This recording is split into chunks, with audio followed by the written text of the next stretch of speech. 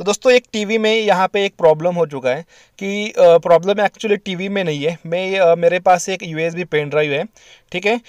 ये इसमें मैं टीवी में यहाँ पे इंसर्ट कर रहा हूँ तो ये शो नहीं कर रहा है। तो आपके टीवी में भी ये प्रॉब्लम आ सकता है। मैं आपको यहाँ पर प्रॉपरली दिखाना चाहूँगा। ओके तो ये पेन ड्राइव यहाँ पर मैंने इंसर्ट किया हुआ है। तो वो टीवी में यहाँ पे दिखाई नहीं दे रहा। There are no item in display इस प्रकार से दिख रहा है। लेकिन मेरे पास एक दूसरा पेन ड्राइव है, वो यहाँ पे शो करता है। ठीक है?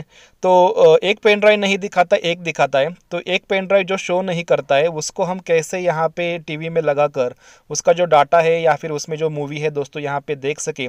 इसकी जानकारी दोस्तों, मैं आपको इस वीडियो में देने वाला हूँ। तो नमस्कार दोस्तों, मेरा नाम है गणेश। आप देख रहे हैं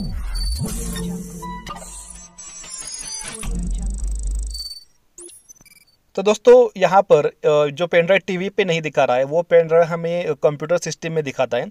आपको आपका विंडोज़ सेवन टेन कौन सा भी लैपटॉप हो, कंप्यूटर हो, उसमें इसको इंसर्ट कर लेना है। तो यहाँ पे मैं आपको दिखाना चाहूँगा, दो फाइल्स मेरे पास हैं ओके तो ये प्रॉब्लम दोस्तों एक्चुअली इस पर, इस यहाँ पे क्यों फेस करते हैं हम, इसकी जानकारी मैं आपको यहाँ पे देने वाला हूँ। तो आप इस पेन ड्राइव के प्रॉपर्टीज़ में चले जाओगे ओके तो प्रॉपर्टीज़ में दोस्तों, यहाँ पर मैं आपको दिखाना चाहूँगा कि ई एक्स फैट इस प्रकार से इसका एक फ़ाइल सिस्टम होता है, हमारे पेन ड्राइव का, ठीक है? तो ई एक्स फैट ये जो दोस्तों जो ये जो फ़ाइल सिस्टम है कभी कभी टीवी में यहाँ पे शो नहीं होता ओके तो सबसे पहले आपको करना ये है कि इसमें जितने भी फाइल्स हैं ओके इनको कॉपी कर लीजिए, इनका हम बैकअप बनाने वाले हैं। ठीक है क्योंकि हम इसको अब फॉर्मेट करने वाले हैं और फॉर्मेट करने के बाद दोस्तों इसका जो फ़ाइल सिस्टम होगा वो हम यहाँ पे फैट थर्टी टू अगर फैट थर्टी टू काम नहीं करता है तो आप एन टी भी ट्राई कर सकते हो। तो मैंने डेस्कटॉप पर एक फ़ोल्डर बना लिया है उसमें ये फ़ाइल सब यहाँ पे मैंने पेस्ट कर दी है और इस, इसका मैं नाम भी यहाँ पर बैकअप कर लेता हूँ क्योंकि मुझे यहाँ पर समझने में आसानी होगी। ओके? तो ये जो सब फाइल्स है दोस्तों, यहाँ पर मैंने बैकअप ले लिया है। तो आपको भी ये प्रॉब्लम सॉल्व करने के लिए बैकअप लेना पड़ेगा। दिस पीसी में जाएँगे और जहाँ पे हमारा पेन ड्राइव है, उस पर राइट क्लिक करने के बाद दोस्तों, हम फॉर्मेट इस ऑप्शन पर क्लिक करने वाले हैं। तो जैसे हम फॉर्मेट पर क्लिक करेंगे तो यहाँ पर एक इस प्रकार से फॉर्मेट का जो यहाँ पे ऑप्शन होता है, वो यहाँ पे खुल जाएगा। तो यहाँ पे देखिए ई एक्स फैट इस प्रकार से होता है। तो आपको फैट थर्टी टू लेना है। ठीक है फैट थर्टी टू से अगर प्रॉब्लम सॉल्व नहीं होता है तो आप एन टी भी ले सकते हो यहाँ पे। और बाकी आपको कुछ नहीं करना है, यहाँ पे क्विक फॉर्मेट रहने देना है और स्टार्ट पे क्लिक करना है। तो हमारा सिस्टम क्या करेगा?